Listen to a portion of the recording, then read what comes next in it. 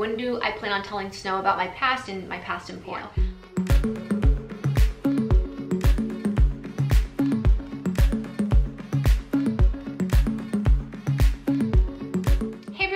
is Channon Rose and in today's video I am going to be doing a porn Q&A. This video is definitely going to get demonetized but if you want to continue to support this channel you can check out my Patreon. So I asked you guys on Instagram what type of video that you guys would like to see me do next and I got a lot a lot of responses but one of the main ones was a porn Q&A. So here I am we're going to be doing a porn Q&A today. I asked you guys to send me whatever questions you wanted and here were some of them. I also am making this anonymous for obvious reasons um, but this question says, how awkward is it having sex in a room full of people and cameras? So I think at first it's a little awkward, but then after a while you just get used to it. It's not that big of a deal. So Someone says, has Travis done gay porn?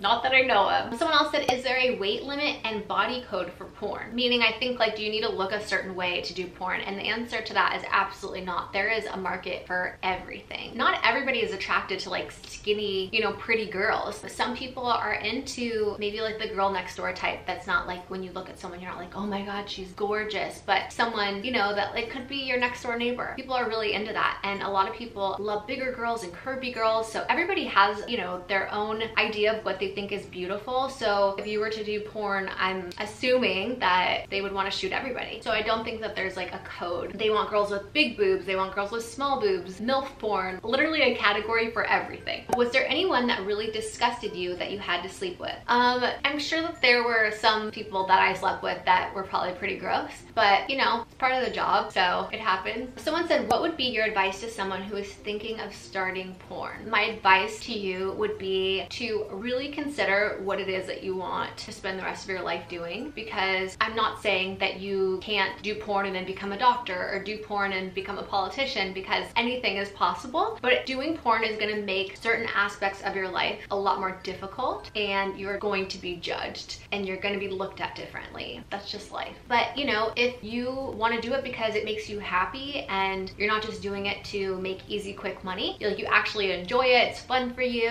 and you're okay with people knowing and your whole family finding out that you do porn or you're in the adult entertainment industry, then go for it. You know, I don't ever want to tell people like, I don't think you should do it. I don't know you like that to tell you like yes or no, you shouldn't, you know? Just know that it's gonna change your whole life. You know, there's gonna be pros to that, obviously, but there are also cons, just like any job. This job is just public, so everyone is gonna eventually find out most likely. So that's my advice to you. This is a really good question. Who gets paid more in porn, men or women. So when I was in porn, the women got paid more, like significantly a lot more. I think that the guys were making like five to seven hundred dollars a scene and the girls were making like, you know, over a thousand dollars a scene. But with that being said, also if I'm talking funny, it's because I have my retainer thing in. With that being said, guys worked more than girls did. So a guy could do like, you know, maybe two to three scenes a day and a girl would probably only do one scene a day because there were less guys in porn than there were like girls. So the guys worked worked more. I hope that that makes sense. I don't know if it's still like that today. Also, I think in gay porn, the guys make more, obviously. Did guy actors from porn ever ask you out? Yes,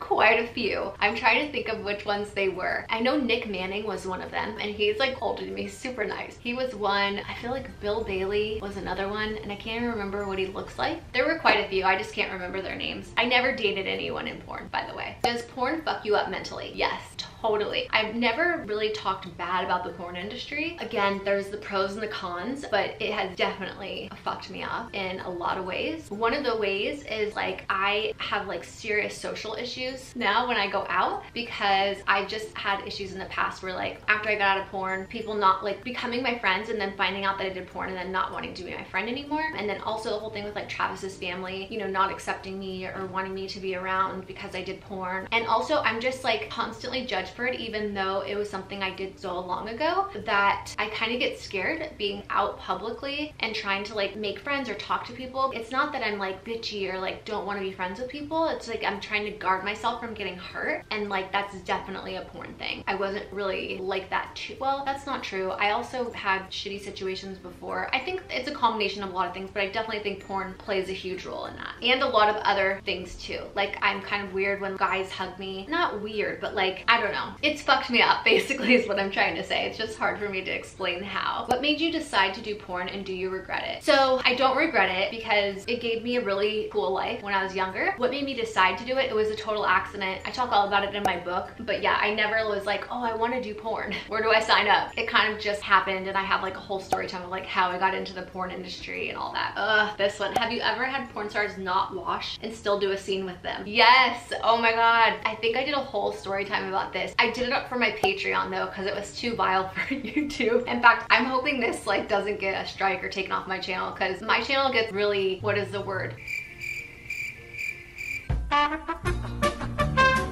My channel is definitely targeted and I feel like a lot of videos that shouldn't be given a strike and removed, they do. You know, like I did a video about like CBD cream or something and it got a strike and taken down. And so I hope that this video doesn't. If for some reason it does, it's gonna end up on Patreon. But I feel like a lot of my videos end up on Patreon. But I did a whole story time about the grossest scene I've ever done. Or like one of them, I should say. And oh, it was gross. Like he literally smelled like he had sex with like five people before me and did not shower.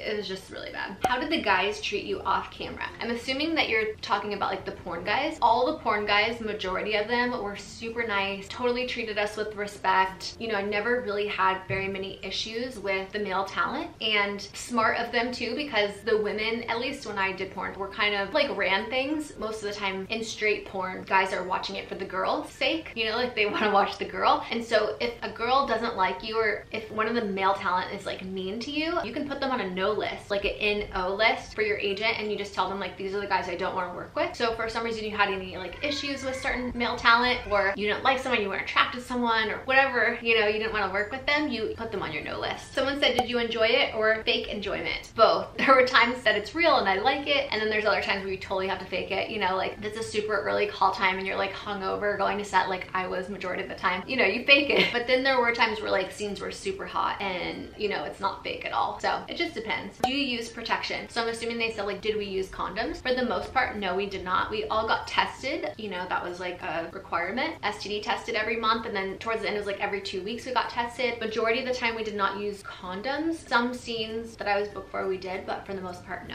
When did you decide to quit and what made you decide to quit? Um, that's funny because I actually quit a bunch of times. I was in and out of the porn industry a lot. I never just like started and stayed in that whole time. I kind of jumped in and out every time I got into a relationship. I would, you know, leave doing porn and then get back in when I broke up with them. And again, I talk about all this in my book. But at the end, when I like quit quit, it was because I was getting older and I was kind of over it. I was done doing porn. Like the funness kind of like wore off for me. And also I was like, I don't want to do grandma porn. And so I was like, okay, yeah, this is like time for me to quit. And I also wanted to become a mother and have like a family. And I wanted to change my life and do something different. I wasn't happy with what I was doing anymore. And so that's when I knew like I needed to do something different. But it was really scary because once you do porn, it's extremely difficult to get a job outside of doing porn for so many reasons. One of them is because not a lot of people are going to want to hire an ex-porn star. But not only that, you're used to making so much money for doing very little work. And then you're told you have to work all day, five days a week. That is a little bit of a culture shock or like a work shock going from having fun and messing around and working a couple hours, you know, once or twice a week to working 40 hours a week, depending on, you know, what job you do. So I was like really nervous. I'm like, I'm not cut out for like a nine to five. I'm just like more of a creative person and I can't do that. I tried and I literally got fired from every job, almost every job I got fired from. I tried the normal thing. It didn't work for me. Anal hurts me. How do you make it enjoyable? So I also did a whole video about this on Patreon, but I'll just say here, I think one of the biggest tips for doing anal is like you have to be extremely relaxed in order for it to not like be painful and kind of have to be doing it with the right person that kind of understands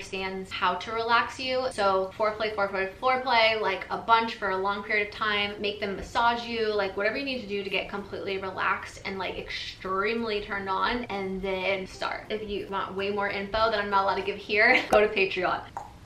How does Travis feel about your porn past? I don't think he really feels much about it. I don't think he really cares very much. How does someone become a super popular porn star? Well, I would just guess that for one, they have to really be passionate about what they're doing and love what they do because that's gonna come across on camera and people are gonna like that. It's gonna turn them on and they're gonna wanna watch more of your scenes. Therefore, you will get booked more. So love what you do and do a really good job doing it. Someone said, when do you plan on telling Snow? So I'm assuming they're asking like, when do I plan on telling Snow about my past and my past in porn. When she's old enough, a lot of people are like, are you gonna tell her about your past? Like, absolutely. I would never keep stuff like that from my daughter. And, you know, I've always been very open about it. So when she's old enough, I plan to tell her. Would you ever do anything porn related again? It depends. Not that it would ever happen, but if Playboy was like, will you host a show for us? Or, you know, something like that, I maybe consider it because, you know, that's not any sex related stuff that you do. And I actually hosted Playboy for a while and I really liked it for a show called Totally Busted. So I guess it would just depend, but for the most part, probably like not just because like it's just not something that makes me happy right now. Um, it's not something that like I would really want to do, you know? How would I feel if Snow did porn? I always get this question all the time, like, how would you feel if your daughter wanted to do porn? Well, probably how anybody would feel if their,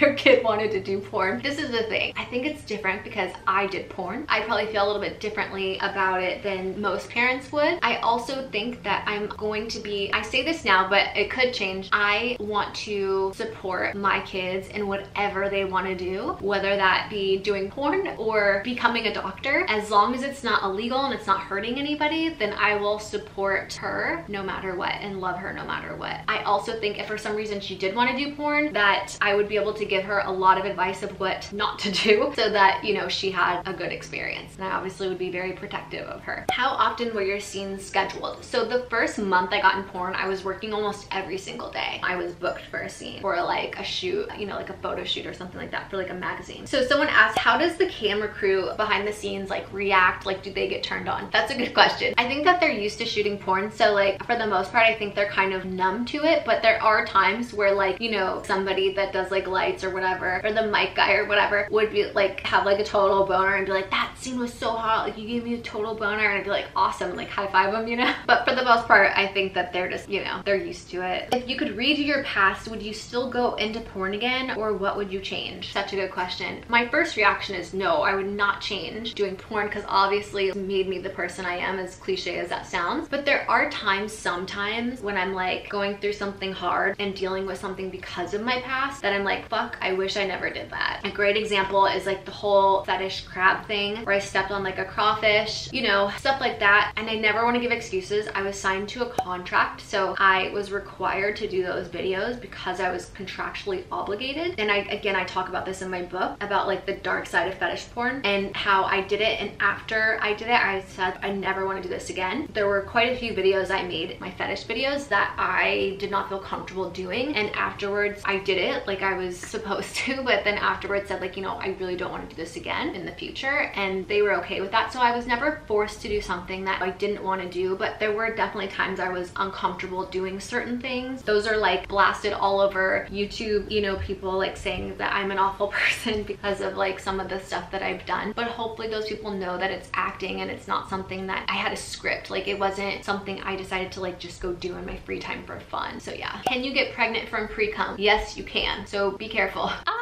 My camera shut off because I've been going so long. I don't know if that was recording, so I'm just gonna do it again. Someone said, my anniversary is coming up and I wanna fuck my husband like a porn star. Any tips? Yes, girl. Get wasted and jump on him and ride him, girl. No, just kidding. I really don't think that I can give in detailed tips about stuff on YouTube anymore because my channel will get taken down. Like literally, they will give me a strike, remove this video. So I feel like I'm allowed to like talk about this stuff on Patreon, but not on here. Kills me because I don't even know if this video they're gonna allow to keep up, but we'll see. What was the big biggest benefit of your porn career besides the money? That's a really good question. I was able to meet a lot of very successful people that were really powerful and made a lot of money and I learned a lot from them. Business wise, I feel like I learned quite a bit for not going to business school and by being able to hang out with those type of people a lot. It wasn't necessarily that they were around the porn business, but they hired porn stars, you know, to escort for them. That's what I mean by the porn industry helping me out in that way because I was able to escort for like really wealthy people. So that was like one benefit. I got to like travel all over the world. I got to fly in private jets and helicopters and go to really cool places and vacation. And I got to do a lot of things I wouldn't have been able to do if I didn't do porn. So yeah. What was your favorite or best memory about doing porn? So one of my favorite memories was AVN. It's like the porn awards, you know, like the Grammys, but for porn, I would get like a bunch of my girlfriends. We would all get like matching outfits and it would just be like one huge party. And that's probably the most fun. So like AVN, getting drunk, like having like a crazy time in Vegas that the majority of it we don't remember because we were so fucked up. But like it was fun. That's definitely a memory that, that I like. Okay, I'm gonna do one more because I feel like this video is so super long. Are you still talking to previous porn colleagues today? Oh, there's so many good questions still. I feel like I should do a part two. There are still some people that I talk to, not every day, but you know, I'm still in contact with, but not new like porn people that are doing porn now, you know, like people that I used to do porn with. Okay, last question. Do you enjoy having sex with your husband more than when you were doing porn? Yes, absolutely. I've had sex with a lot of people. My husband by far is like the best sex I've ever had. And it still is, and we've been married and together for years and years and years, and he's still like my favorite person to have sex with. I love him so much. One last one. Do you, you and Travis have threesomes or would you? So Travis and I have never had threesomes. I've had threesomes um, and like orgies and stuff in my past relationships, but Travis and I have not. Would we? I would be open to it, I guess. Yeah, I don't know. okay, I think that's it. Thank you guys so much for watching this video. I hope you enjoyed it. If you did, be sure to give it a big thumbs up. Let me know if you guys want me to do a part two to this. And don't forget to follow me on Instagram because that is where I get all your questions from. Again, thank you for being here. Thank you for supporting this channel. I'm sending you all my love and all my positive energy and I hope to see you in my next video. Hello, Channon Rose. I'm an example of how you can change. They used to tell me that I would be nothing. Now I got a million support in my name. I'm on a different course, riding around and I'm whipping a Porsche. They used to hate on me bad, now I got them sad. I'm the one that they didn't endorse. Now look who's shining, now look who winning. Do this for my kid, but I am not kidding.